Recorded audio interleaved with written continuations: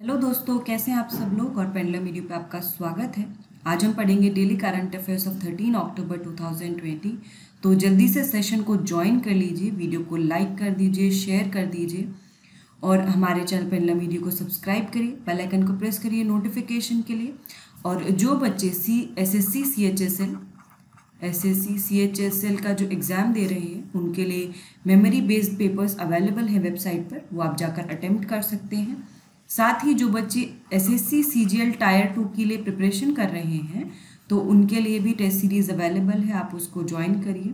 First mock test जो है freely available है, आप उसको अटेम्प्ट करके देखिए। एंड प्रैक्टिस के लिए देखिए मॉक टेस्ट बहुत ही इंपॉर्टेंट होते हैं। साथ ही जिन बच्चों ने अभी यूपी पी सी एस दिया है, और वो कॉन्फिडेंट हैं कि वो मेंस के में बैठेंगे मेंस की तैयारी करें अपनी हो और उनके लिए मेंस की टेस्ट सीरीज़ अवेलेबल है तो आप वो ज्वाइन कर सकते हैं। तो चलिए हम लोग शुरुआत करते हैं सेशन की। पहले हम पिछली न्यूज़ रिवाइज करेंगे पिछले दिन की एंड देन हम आज की न्यूज़ देखेंगे। So first is Nobel peace prize 2021 by world food programme तो वर्ल्ड फ़ूड प्रोग्राम ने जो है नोबल पीस प्राइज 2020 जीता है। टू ये उनको मिला है कि उन्होंने जो कॉन्फ्लिक्ट एरियाज़ हैं जहाँ पर वॉर कॉन्फ्लिक्ट चल रहा था, वहाँ पर लोगों की जो भूख की समस्या थी उसको हल करने में मदद की। वहाँ तक लोगों को खाने पीने की पहुँच सुनिश्चित की। तो इसी, इनके एफर्ट्स के लिए वर्ल्ड फ़ूड प्रोग्राम को नोबल पीस प्राइज़ 2020 दिया गया। 2019 का Nobel peace prize prime minister of Ethiopia Abiy Ahmed को दिया गया। एंड वर्ल्ड फ़ूड प्रोग्राम जो है, ये 1961 में फाउंड हुआ था। इसके हेडक्वार्टर्स कहाँ पर हैं? जल्दी से कमेंट करके बता दीजिए। कल बताया था मैंने आपको। कहाँ है इसके हेडक्वार्टर इसके हेडक्वार्टर रोम में है। ठीक है फ़ूड एंड एग्रीकल्चर ऑर्गेनाइजेशन के हेडक्वार्टर भी रोम में है और वर्ल्ड फ़ूड प्रोग्राम के भी रोम में है। और इसके हेड कौन है? David Beasley okay David Beasley इसके हेड हैं। Prime Minister Narendra Modi expressed thanks and showed respect on 300th birth anniversary to भाई तारू सिंह जी तो भाई तारू सिंह जी जो थे, वो एक सिख मार्टियर थे एटीन सेंचुरी के एंड उनका 25 वर्ष की आयु में ही निधन हो गया था। एंड वो अपने सिख की जो जो भी प्रिंसिपल्स हैं, उनको प्रोटेक्ट करने के लिए उन्होंने अपनी जो है ज़िंदगी कुर्बान कर दी। उनको पकड़ के ले गए थे कि उनके बाल काटने के लिए उनको इस्लाम में कन्वर्ट करने के लिए by one of the Mughal emperor and then उस तब भी उन्होंने अपना uh, सर काट लिया लेकिन अपने सर के बाल नहीं कटने दिए और ना ही इस्लाम में इस्लाम को कबूल किया ना इस्लाम में कन्वर्ट हुए। ने एक चीज़ और इनसे रिलेटेड इंपॉर्टेंट है क्योंकि भाई तारू सिंह जी न्यूज़ में थे क्योंकि जो गरी गुरुद्वारा है शहीद भाई तारू सिंह जी का वो लाहौर पाकिस्तान में है। एंड उसको मॉस्क में कन्वर्ट करने की न्यूज़ में था। Then next is D R D O successfully conducted flight test of Rudram Rudram और N G A R M तो ये रुद्रम क्या है? It is air to surface ठीक है दिस इज़ इंपॉर्टेंट कि ये एयर टू सरफेस जो है एंटी रेडिएशन मिसाइल है। Air to surface anti radiation missile है, या फिर new generation anti radiation missile भी कह सकते हैं। तो ये डीआरडीओ डेवलप कर रहा है एंड इसमें जो प्रोड्यूस करेगा रुद्रम को, वो भारत डायनेमिक्स लिमिटेड और भारत इलेक्ट्रॉनिक्स लिमिटेड मिलकर बनाएँगे। Next is world mental health day जो है, वो हर वर्ष 10 अक्टूबर को मनाया जाता है। एंड इसमें जो थीम थी इस बार थी mental health for all greater investment and greater access next is Goa first Har Ghar Jal state in India तो गोवा पहला हर घर जल स्टेट बना है क्योंकि उसने जितने भी रूरल हाउस होल्ड्स हैं, सबको hundred percent functional household tap connection provide करे हैं। इसीलिए जो है यहाँ पर गोवा फ़र्स्ट हर घर जल स्टेट बना है। जो जल जीवन मिशन है, जो इससे रिलेटेड है, जल जीवन मिशन भारत सरकार द्वारा 2019 में लॉन्च किया गया था, जल जीवन मिशन तो इसका एम है कि सारे जितने भी रूरल हाउस होल्ड्स हैं, उनको पाइप वाटर कनेक्शन प्रोवाइड करना है। 2024 तक। ये इसका एम है। Next is China announces its joining to COVAX initiative तो कोवैक्स इनिशिएटिव जो वर्ल्ड हेल्थ ऑर्गेनाइजेशन का इनिशिएटिव है। तो डब्ल्यू एच ओ का एक इनिशिएटिव है कि जितनी भी कोविड नाइन्टीन की वैक्सीन्स हैं, उनको 2021 तक एटलीस्ट टू बिलियन डोजेस जो है सप्लाई की जाए। और चाइना ने ये इनिशिएटिव ज्वाइन किया है by signing the Gavi Gavi क्या है? Global alliance global vaccine alliance है ये गावी। तो इस गावी को उन्होंने साइन करके इस इनिशिएटिव को ज्वाइन किया, कोवैक्स इनिशिएटिव को। जो ये गावी है, ग्लोबल वैक्सीन अलायंस, ये 2000 में क्रिएट किया गया था और इसके जो फाउंडर थे वो Bill and Melinda Gates foundation थे। नेक्स्ट इंपॉर्टेंट है bimonthly monetary policy announced by RBI. RBI ने bimonthly monetary policy announce की और उसमें जो रेपो रेट है। रेपो रेट है, उसको चेंज नहीं किया, उसको फोर परसेंट ही रहने दिया। एंड जो रिवर्स रेपो रेट है, इसको भी चेंज नहीं किया three point three five percent जो पहले था, वही रहने दिया। क्योंकि उन्होंने कहा कि इससे ज़्यादा इसको इंक्रीज नहीं किया जा सकता है। एंड साथ ही उन्होंने ये भी कहा कि जो R T G S payment system है real time gross settlement system ये दिसंबर से ट्वेंटी फोर सेवन अवेलेबल रहेगा। सो so, ये सब अनाउंसमेंट हुए थे। Next is Mexican ozone layer profit Mario Molina passed away तो मारियो मोलिना जिनको नोबेल प्राइज इन केमिस्ट्री भी मिला था क्योंकि उन्होंने ये पता किया था कि क्लोरोफ्लोरोकार्बन की वजह से कैसे ओजोन लेयर को थ्रेट पहुँच रहा है। इसे उन इसीलिए उनको ओजोन लेयर का प्रॉफिट भी कहते थे। एंड वो पहले मैक्सिकन थे जिनको नोबल प्राइज फॉर केमिस्ट्री मिला था। इसलिए ये न्यूज़ में थे। तो इस बार का जो नोबल प्राइज इन केमिस्ट्री है, वो किसको मिला है? जल्दी से कमेंट करके बताइए। इस बार का नोबल प्राइज इन केमिस्ट्री किसको मिला है 2020 का? Emmanuelle Charpentier and Jennifer A Doudna को मिला है for the method of genome editing which is CRISPR Cas nine कल मैंने डिटेल में डिस्कस किया था इसके बारे में। Cochin shipyard bags green certification Cochin shipyard पहला ऐसा ग्रीन कंपनी बना है इन द शिपिंग सेक्टर जिसको ग्रीन को सिल्वर रेटिंग सर्टिफिकेट मिला है।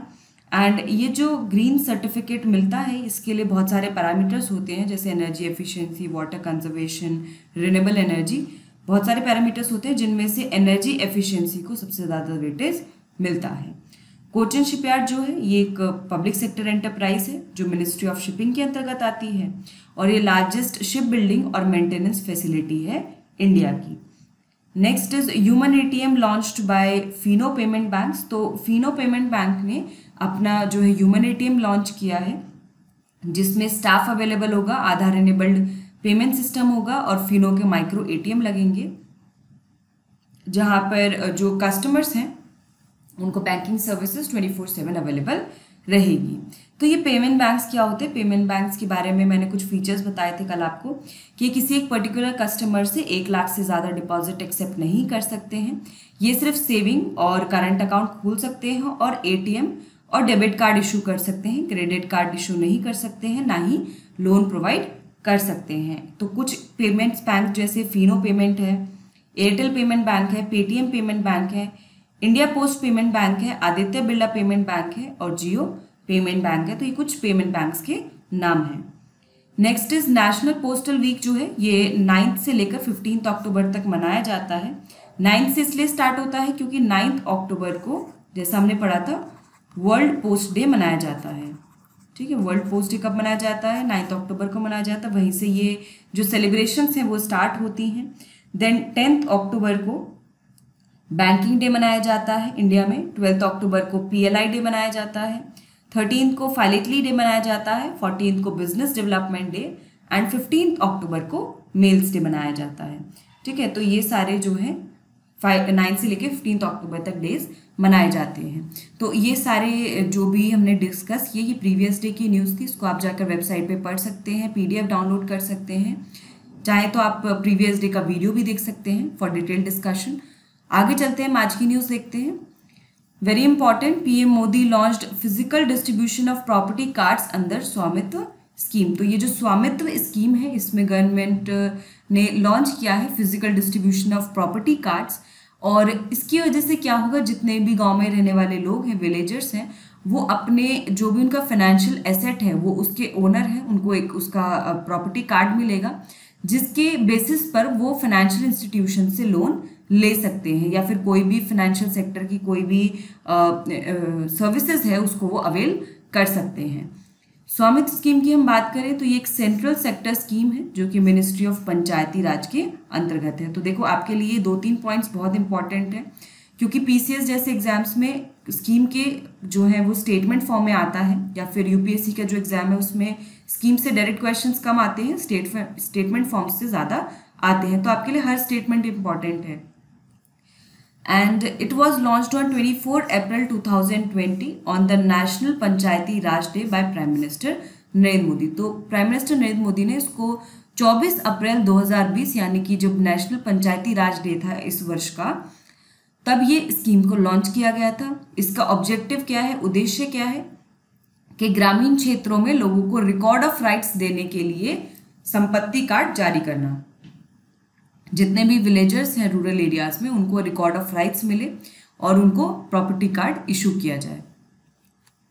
The scheme will be implemented in phased manner इसको चरणबद्ध तरीके से चलाया जाएगा फ्रॉम 2020 टू 2024 तो दिस इज़ ऑल्सो इंपॉर्टेंट क्योंकि देखा गया है कि ये जो इम्प्लीमेंटेशन uh, का जो टाइम होता है इससे भी क्वेश्चन बन जाता है कि कोई स्कीम कब तक चलेगी।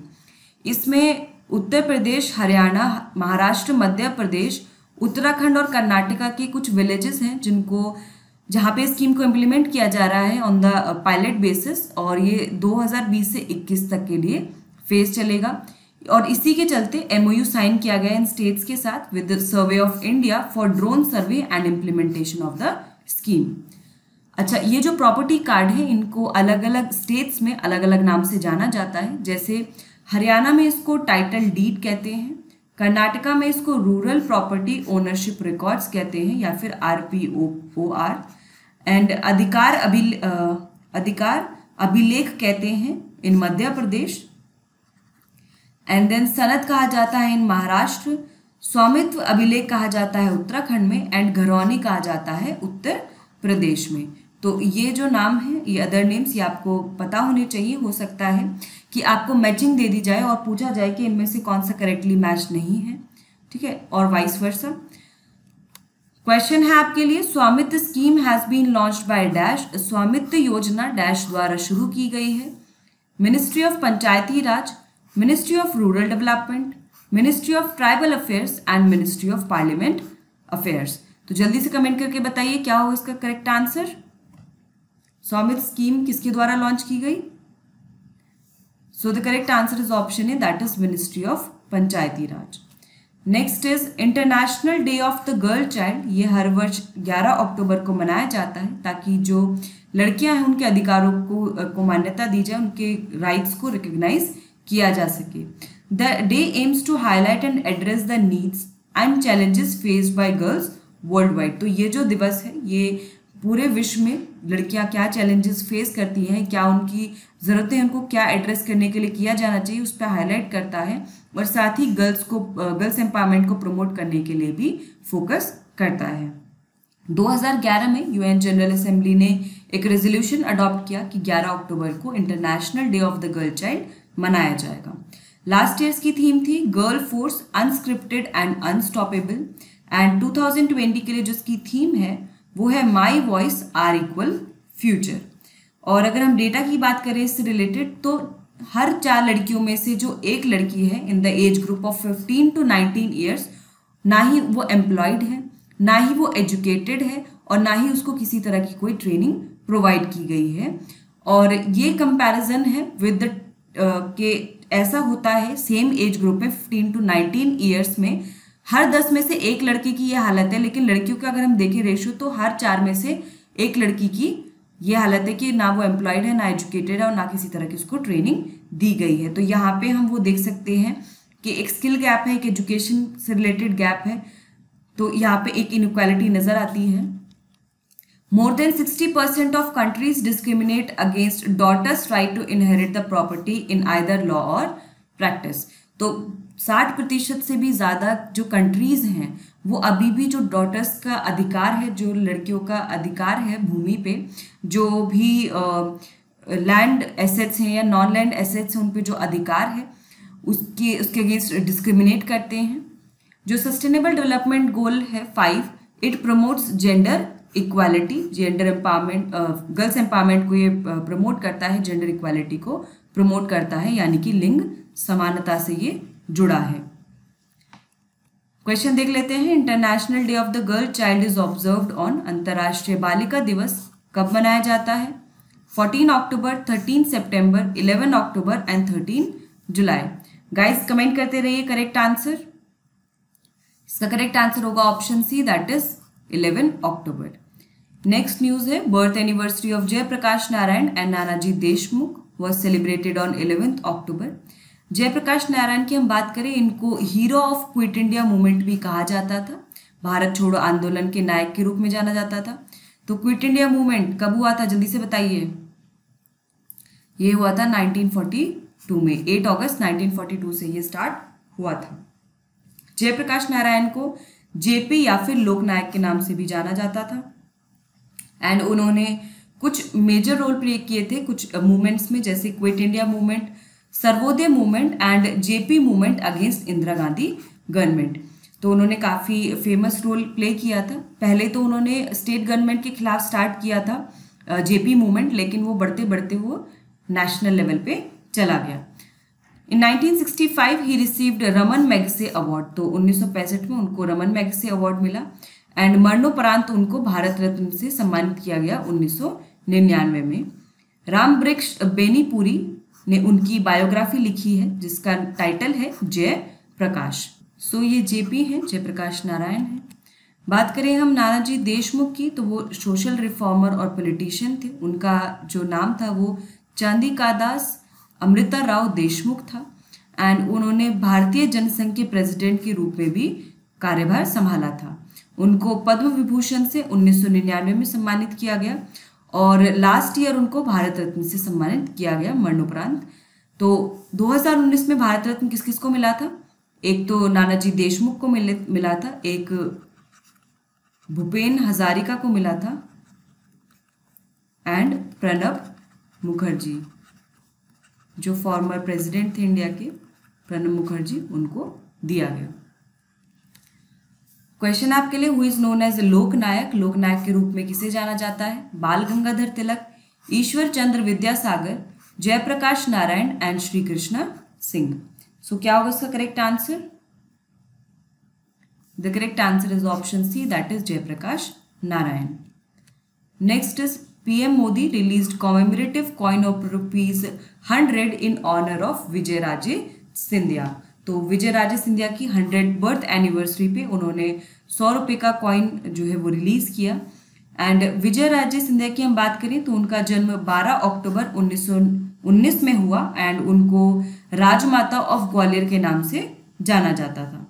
She was one of the founder members of BJP तो जो बीजेपी के फाउंडर मेंबर्स थे, संस्थापक सदस्यों में से वो एक थी। और सात बार वो लोकसभा की मेंबर बनी और दो बार राज्यसभा की मेंबर बनी।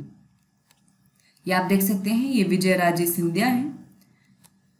क्वेश्चन है आपके लिए a commemorative coin of rupees hundred was release by prime minister in honour of dash honour hundred birth anniversary प्रधानमंत्री द्वारा निम्न में से किसकी सौवीं जयंती पर सौ रुपये का स्मरणीय सिक्का जारी किया गया है? Madhavrao Jivaji Rao Scindia, Vijaya Raje Scindia Kadarji Rao Scindia and Jayaji Rao Scindia so what will be the correct answer for this guys comment करते रहिए करेक्ट आंसर कोई भी डाउट है कमेंट बॉक्स में मेंशन करिए. Video को like करते रहिए शेयर करते रहिए. Try to add more and more people to the session उसका करेक्ट आंसर होगा option B that is Vijaya Raje Scindia next is Rafael Nadal won his thirteenth French Open men singles title by beating Novak जोकोविच। तो नोवक जोकोविच को हराकर नाफेल Nadal ने अपना तेरहवा फ्रेंच ओपन खिताब जीता है और अब उनका जो ग्रैंड स्लैम टाइटल है, वो रॉजर फेडरर के बराबर हो गया है। He is the first player to reach a century of single wins in French Open way French Open में एकल जीत के शतक तक पहुँचने वाले पहले खिलाड़ी हैं। राफेल नडाल को किंग ऑफ़ क्ले भी कहा जाता है। फ्रेंच ओपन की हम बात करें तो ये ग्रैंड स्लैम टेनिस टूर्नामेंट है, जो आउटडोर क्ले कोर्ट्स में खेला जाता है तो ग्रैंड स्लैम में चार टूर्नामेंट होते हैं और फ्रेंच ओपन उनमें से एक है, एक यूएस ओपन है, एक विम्बलडन है और एक ऑस्ट्रेलियन ओपन है The venue of this tournament is at Stade Roland Garros Stadium in Paris. Who is the winner of men's singles title of French Open 2020? French Open 2020 के पुरुषों के एकल खिताब के विजेता कौन है रफेल नडाल, नोवक जोकोविच, Roger Federer and Andy Murray so क्या हो उसका करेक्ट आंसर जल्दी से कमेंट करके बता दीजिए मुझे। बहुत इजी क्वेश्चन है। सो क्या होगा इसका correct answer the correct answer will be option A that is Rafael Nadal next is first Polish player Iga Swiatek won French Open by beating Sofia Kenin. तो सोफिया कैनिन को हराकर ईगा स्वीटेक जो है first Polish player बनी है, जिन्होंने grand slam title जीता है in the women singles final of French Open The 19 years old Iga Swiatek will move to 17th position in the world ranking after this. Win तो उनका जो है सत्रहवा स्थान हो जाएगा एंड वो उन्नीस वर्ष की हैं। और उन्होंने इस जीत के साथ जो है नाइनटीन लाख का जो है डॉलर जो है वो जीते हैं। कैश प्राइज जीता है। तो यहाँ पर हम विनर्स देख लेते हैं फ्रेंच ओपन के। मेन सिंगल्स में रफेल नडाल ने जीता है नोवक जोकोविच को हराकर। विमेन सिंगल्स में ईगा स्वेटेक ने जीता है सोफिया कैनिन को हराकर। मेंस डबल में Kevin Krawietz and Andreas Mies हैं, जिन्होंने मार्टी पेविक और ब्रूनो सोर्स को हराया है। और विमेंस डबल्स में तीमिया बोबोस एंड क्रिस्टीना मिलाडनोविक ने जीता है ये और ये उन्होंने रनर कौन रहा है? एलेक्सा गोरोची एंड डिजरे क्राउसिक तो इनको जो है, ये रनर अप रहे हैं। तो ये जो है फ्रेंच ओपन फ्रेंच ओपन 2020 के जो है ये विनर्स हैं। ठीक है ना? इन डिफरेंट कैटेगरीज आगे चलते हैं। Next is question for you Iga Swiatek won French Open women singles title 2020 by defeating dash Iga Swiatek ने डैश को हराकर 2020 में फ्रेंच ओपन महिला एकल खिताब जीता है। Alexa ग्रोची Sofia Kenin Simona Halep and Justine Henin so क्या होगा इसका करेक्ट आंसर जल्दी से बताइए। What will be the correct answer for this? The correct answer for this is option B that is Sophia Kenin. Next is India's all eight beaches get international blue flag certification in a single attempt. कुछ दिन पहले हमने discuss किया था सितंबर में कि India के eight जो बीचेस हैं वो ब्लू फ्लैग सर्टिफिकेशन के लिए रिकमेंड किए गए हैं और अब जो है ये फाइनल डिसीज़न आ गया है कि इन सभी बीचेस को ये जो एट रिकमेंड किए गए थे पहले अटेम्प्ट में इन सभी को ब्लू फ्लैग सर्टिफिकेशन मिल गया है। तो इसमें ब्लू फ्लैग सर्टिफिकेशन वाले बीचेस कौन कौन से हैं? ये इंपॉर्टेंट है अब आपके लिए। Shivrajpur beach in Gujarat, Ghoghla beach in Diu, Kasarkod and Padubidri in Karnataka Kappad in Kerala, Rushikonda in Andhra Pradesh, golden beach in Odisha, Radhanagar beach in Andaman and Nicobar island और blue flag certification को qualify करने के लिए आपको environmental educational safety और accessibility criteria जो है, वो आपको मीट करने होते हैं और मेंटेन करने होते हैं। ब्लू फ्लैग जो है, ये एक इंटरनेशनल इको लेबल है, जो बीचेस को दिया जाता है मरीनास और सस्टेनेबल बोटिंग टूरिज़्म ऑपरेटर्स को दिया जाता है और सर्टिफिकेशन को कौन देता है? हमने पहले भी डिस्कस किया था foundation for environmental education FEE द्वारा ये दिया जाता है। और जो भी बीचेस हैं, जो ब्लू फ्लैग बीचेस होते हैं, उनको वर्ल्ड का सबसे क्लीनेस्ट बीचेस माना जाता है।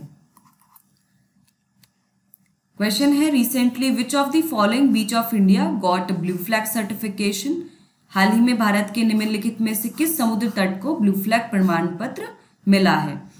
Golden beach Ghoghla beach Radhanagar beach and all of the above जल्दी से कमेंट करके बताइए, क्या होगा इसका correct answer the correct answer will be option D that is all of the above next is international day for disaster risk reduction ये thirteen October को मनाया जाता है and this was started the day started in 1989 by the United Nations General Assembly to promote a global culture of risk awareness and disaster reduction जो ये दिन मनाया जाता है it aims to celebrate for raising awareness and how people around the world are reducing their exposure to disasters this year's international day for disaster risk reduction is all about governance आपदा जोखिम न्यूनीकरण के लिए इस वर्ष का अंतर्राष्ट्रीय दिवस शासन के बारे में है कि अगर एक गुड डिजास्टर रिस्क गवर्नेंस होगा तो वो लाइफ्स को बचा सकता है डिजास्टर अफेक्टेड लोगों को जो है बचा सकता है एंड उन जो भी इकोनॉमिक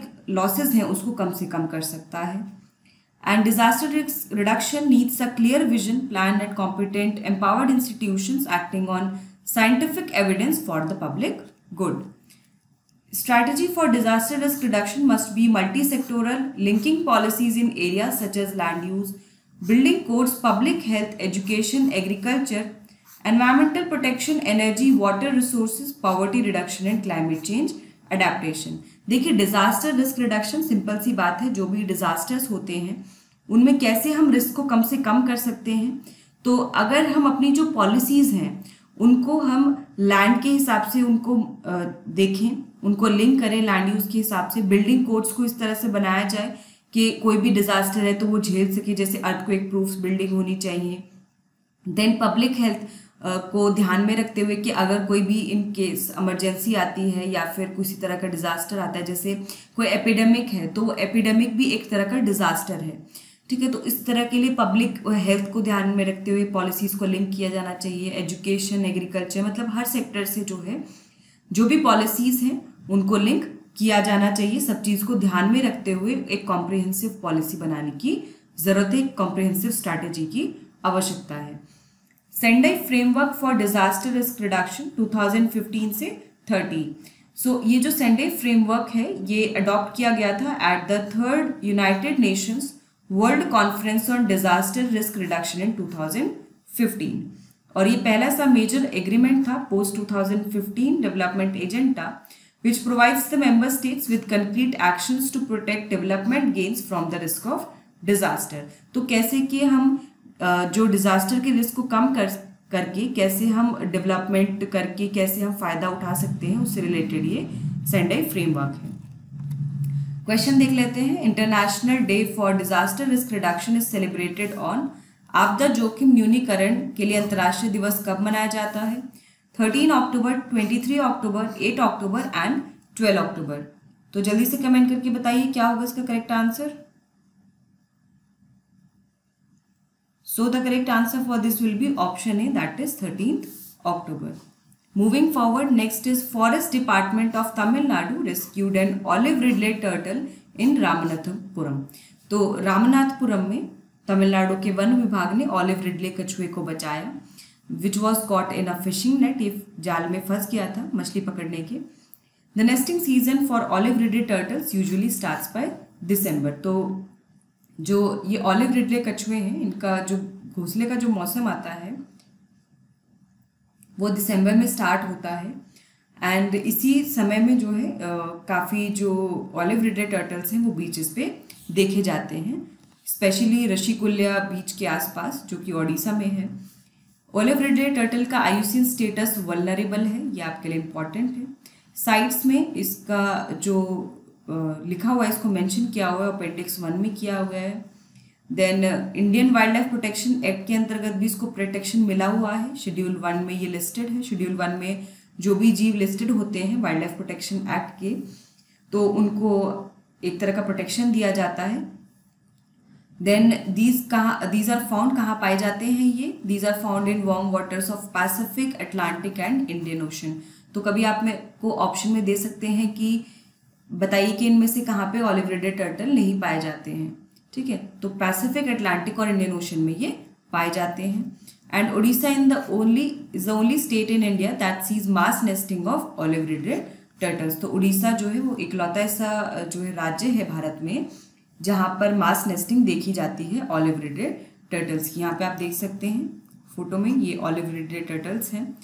एंड इनको खतरा दो तीन चीज़ों से है कि इनको जो पोचिंग की जाती है, इनकी मीट शेल लेदर और एग के लिए। एक तो ये इनके लिए खतरा है।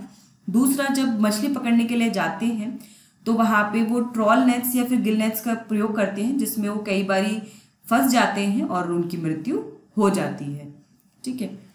चलिए, आगे चलते हैं। Let's question the IUCN status of olive ridley turtle is olive ridley कछुए का आयुसियन स्टेटस क्या है?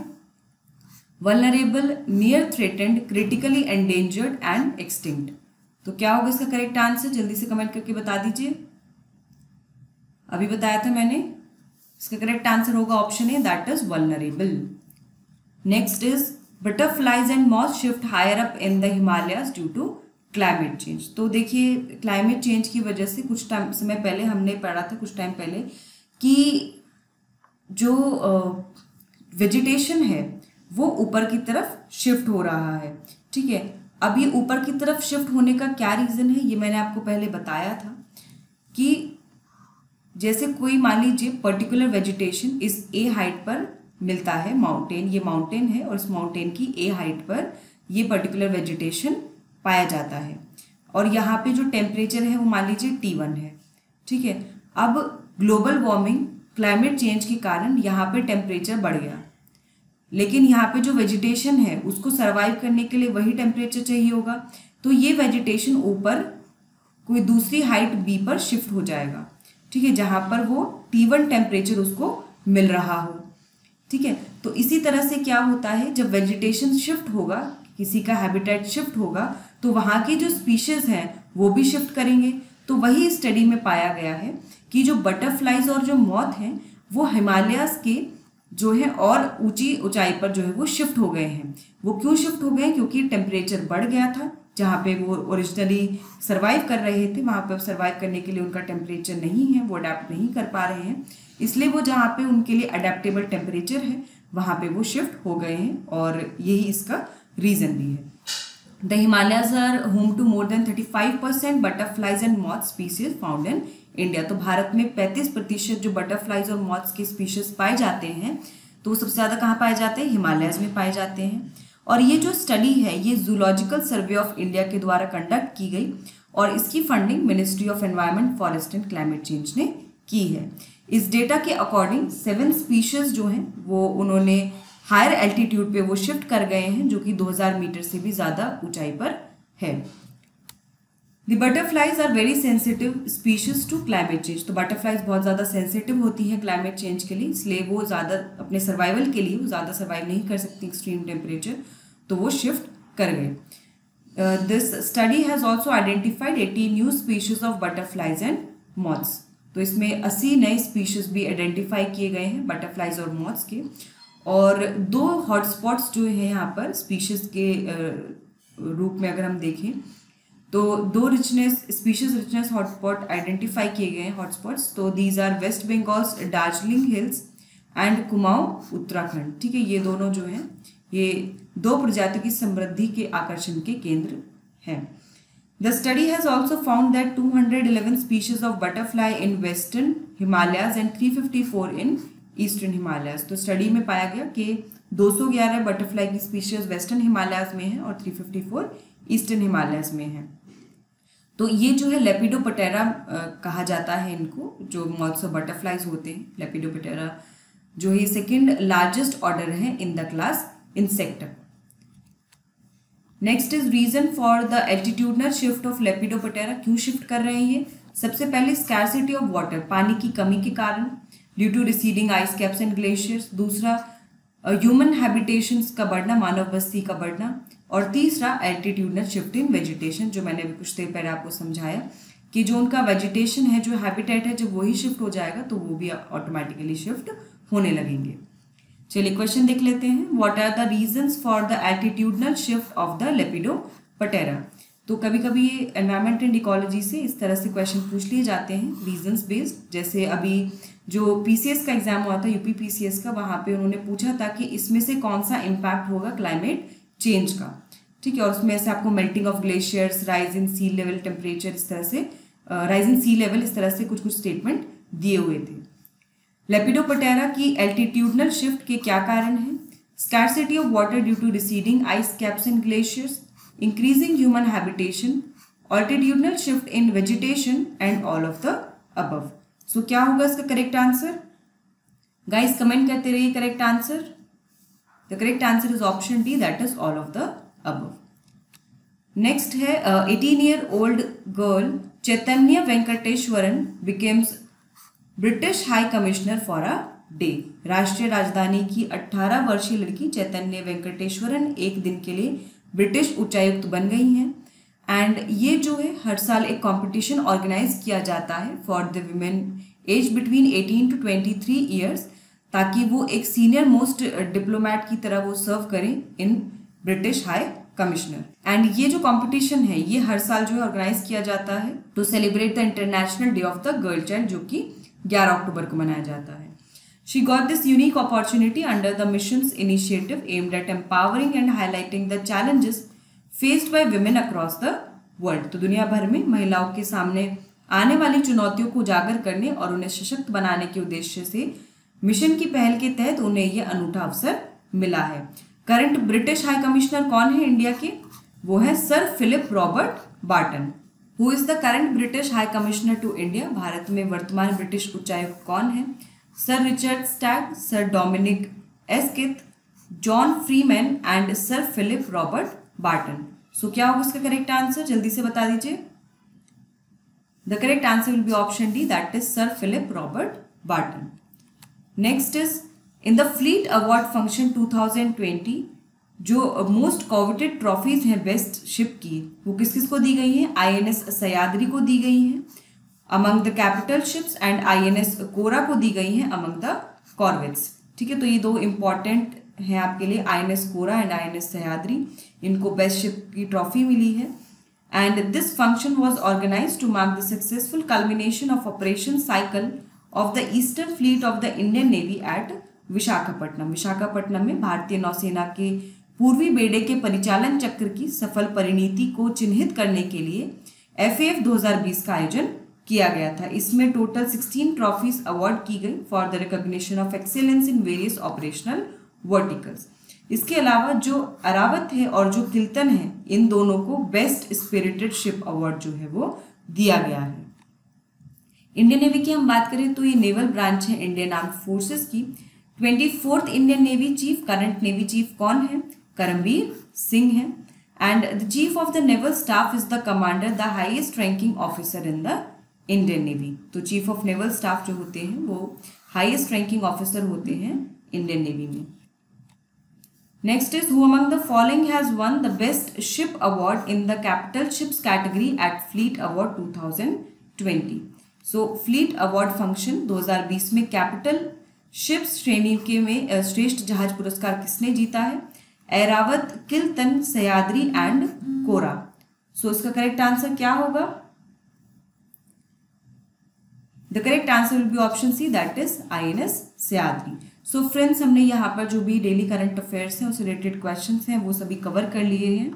तो इसी तरह से आप हमारे साथ जुड़े रहिए अपना तैयारी बढ़िया से करते रहिए। All the best thank you so much